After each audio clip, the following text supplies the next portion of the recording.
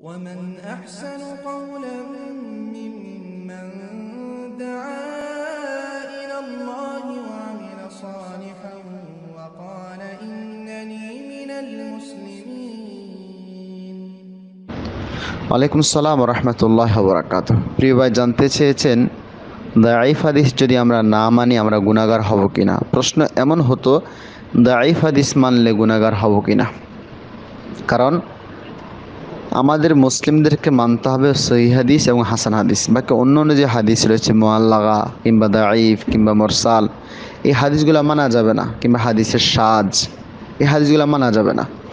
হাদিস মানতে হবে আল্লাহ রসুল থেকে স্পষ্টভাবে প্রমাণিত যেগুলা, সেগুলা। সেটি হতে পারে সহি হাদিস, হতে পারে হাসান হাদিস। এটা হচ্ছে সনদের কথা বললাম। আর মতনের দিক থেকে রাসুল সাল্লাহ আলাইসাল্লাম কাউল ফেল এবং তাকরির, এই তিনটি।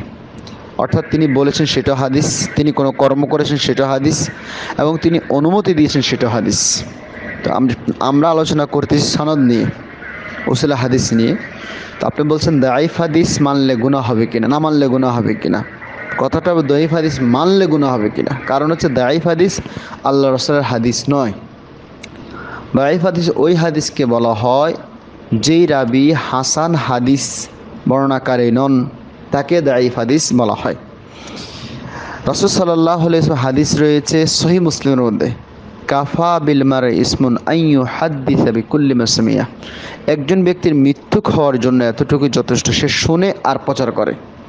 সেটা চিন্তা করে না যে আদৌ রাসুল্লাহ সাল্লাহ আলাইসাল্লামের কিনা। অন্য হাদিসে এসেছে সহি মুসলিমের মকাদ্দম অধ্যায়ের মধ্যে রাসুল সাল্লাহ আলাইসাল্লাম বলছে, যে ব্যক্তি আমার পক্ষ থেকে একটি হাদিস বর্ণনা করল, ইউরা, সন্দেহ রয়েছে, যেটাকে আমরা দায়ীব বলি, হতেও পারে, নাও হতে পারে।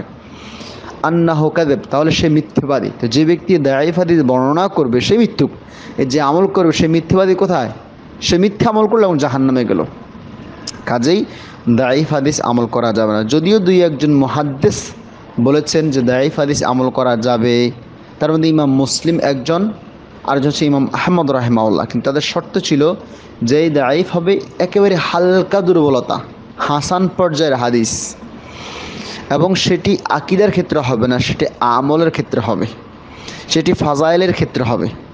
তবে তাদের শর্তগুলো পূরণ করে আমলটা কেউ করে না। বরং এলোফা তার নিজের দলকে, নিজের মাঝহাবকে, নিজের মানহাজকে, নিজের হটকারিতাকে মানে প্রদর্শন করার জন্য, সেটাকে টিকিয়ে রাখার জন্য, সমাজে এস্টাবলিশ করার জন্য দায়ী হাদিস মানুষ মেনে থাকে এবং সেটাকে প্রচার করে থাকে এবং সেটা নিয়ে আমাদের সাথে বাদ বিবাদ করে।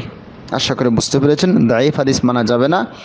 দাইফ আরবি শব্দ বাংলাতে সেটাকে দুর্বল বলা হয়। যেমন আমাদের নোয়াখালী বা লক্ষ্মীপুর ভাষা হচ্ছে হানি আহার সাধু ভাষা ফানি আশা করি বুঝতে পেরেছেন। জাকাল্লাহ খেরা